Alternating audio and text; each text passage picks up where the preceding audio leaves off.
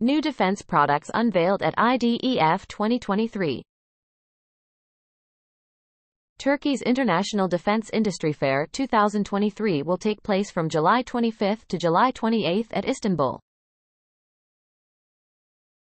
DefenseMirror.com lists out various new weapons that will be showcased at the event. Retinar AESA Radar Meteksan Defense.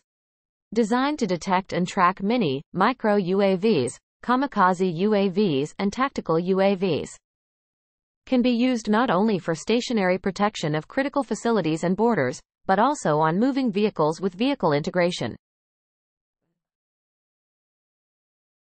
Gurz Short-Range Air Defense System, a Aselsan.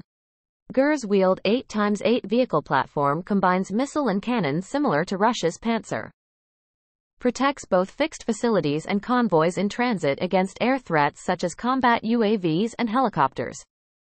Gurz consists of a 35mm air defense gun, four very low-altitude air defense missiles, four low-altitude air defense missiles besides an AESA radar.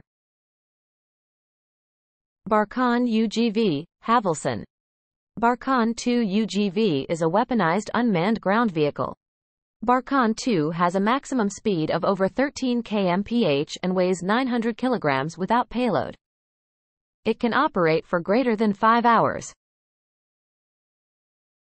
Mini Shark Drone, Ukraine's Ukr Spec Systems.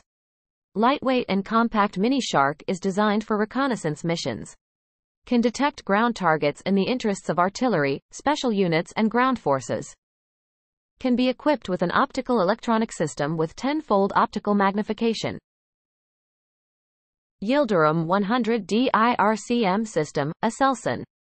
Yildirim 100 will be installed in helicopters to protect them from missile attacks. It intercepts seeker heads from shoulder-launched missiles with a laser weapon. KMCU weapon system, Roketsan.